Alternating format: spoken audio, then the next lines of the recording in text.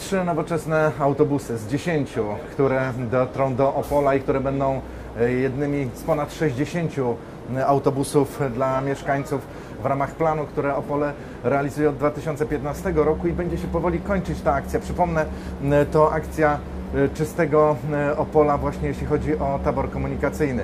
I dzisiaj do Opola trzy niezwykłe, piękne, wyprodukowane w 2020 roku autobusy y, Solarisa trafiają. One będą mogły, trafiają do Opola, one będą mogły przewieźć jednorazowo 85 pasażerów. One wyposażone są w pełną klimatyzację w całym samochodzie.